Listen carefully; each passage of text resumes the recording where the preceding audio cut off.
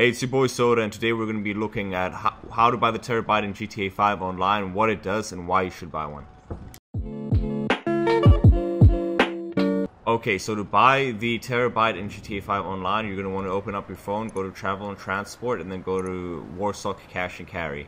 And the Terrorbyte is going to cost you 1.3 mil, 1,375,000 just on its own. And then you can also get various upgrades for inside, which are going to cost you a little bit more if you want. And you can also get interior decal, for example, a turret station if you want. You can get a drone station, which you'll need to buy, do more missions.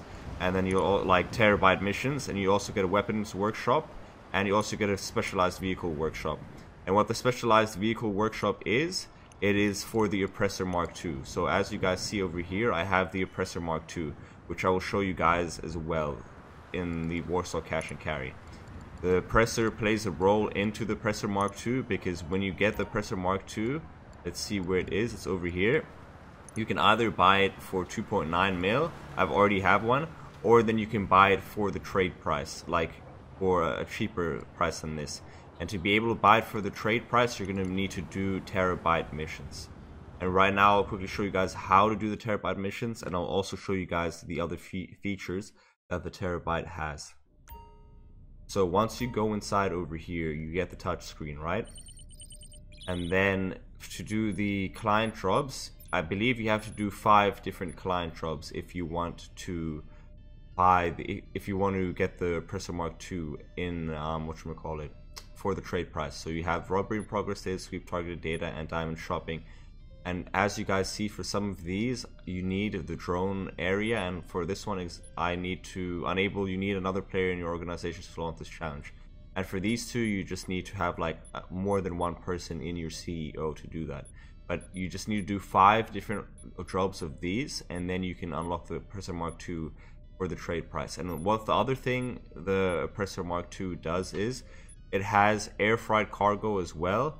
So it it uh, it helps you if you own a hangar you can get you can start like you can start your collections for your other businesses straight from your Terrorbyte.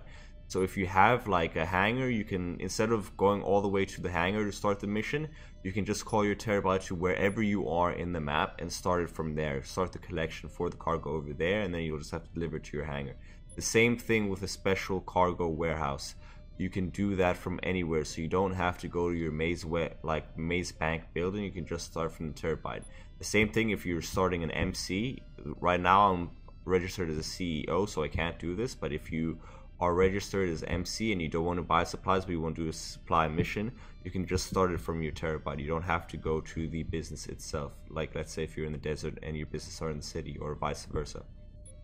And then you can also do your gun running supplies, which is for your bunker, and then you can also do your vehicle cargo from the Terrorbyte itself. And this thing is pretty sturdy. It can also hold a lot of rockets and a lot of bullets. So it's really essential, especially if you own a vehicle cargo. It is, in my opinion, the best thing to save time because I have a video on how to only source top range cars and you can sell top range cars for a hundred thousand each and that is a lot of money. So every two hours, I can literally farm for 1.2 mil worth of cars because every 30 minutes you can sell four top range cars if you have friends to help you. And as you guys see, I'm on. I'm gonna pull up the map. My special vehicle cargo is over here, and my Terrorbyte is over here.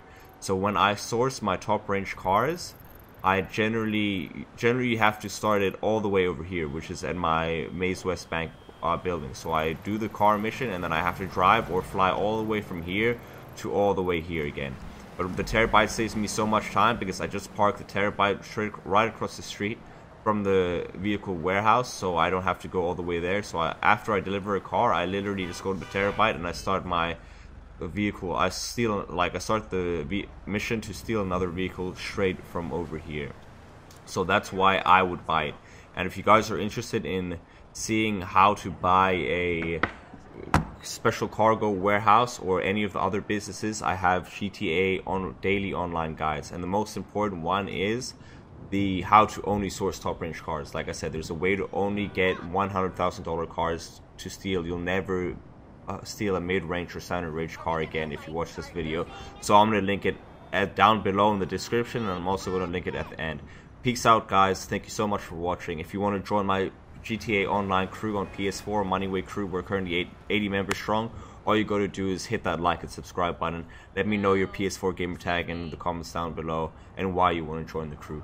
Peace out, take it easy, catch you guys next time.